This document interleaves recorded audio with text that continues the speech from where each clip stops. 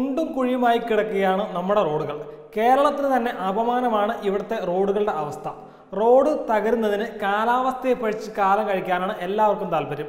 നിർമ്മാണത്തിലെ അശാസ്ത്രീയമായ അഴിമതി കൊണ്ട് ആശീർവദിക്കുകയാണ് ഉദ്യോഗസ്ഥരും സർക്കാരും ചെയ്തുകൊണ്ടിരിക്കുന്നത്.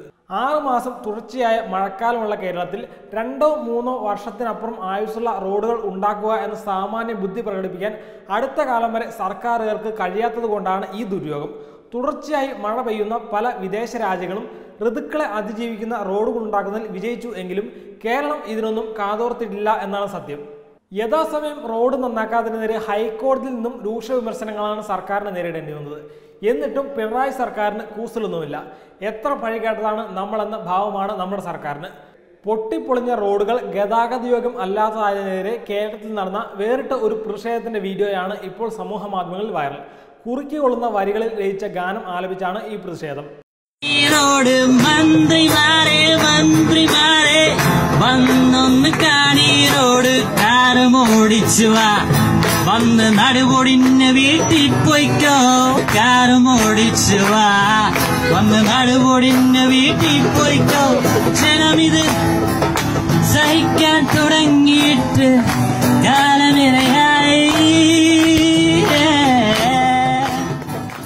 മന്ത്രിമാരോടും പി ഡബ്ല്യു ഡി സാറന്മാരോടും എം എൽ എമാരോടും കാർ ഓടിച്ച് റോഡിലേക്ക് വരാനും നടുവൊടിഞ്ഞ് വീട്ടിൽ പോകാനുമാണ് ഗാനത്തിലൂടെ യുവാക്കൾ പറയുന്നത്.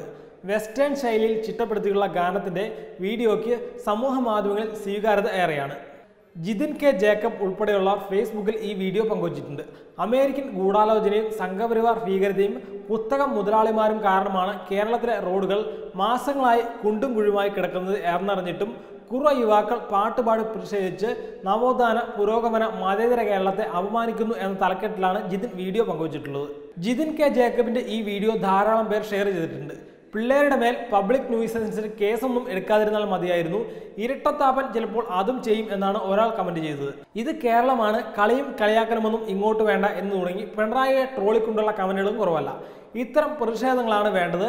ഇങ്ങനെയുള്ള പ്രതിഷേധങ്ങൾക്ക് ജനങ്ങൾ ഫുൾ സപ്പോർട്ട് കൊടുക്കണം എന്നാണ് ഭൂരിഭാഗം പേരും കമന്റ് ചെയ്തിട്ടുള്ളത്. കണ്ണു തുറക്കാത്ത പി ഡബ്ല്യു ഡി സാർമാർ ഇത് കണ്ടെങ്കിലും കണ്ണു തുറക്കട്ടെ എന്നാണ് പൊതുജനങ്ങളും പറയുന്നത്. Web desk Tatva news.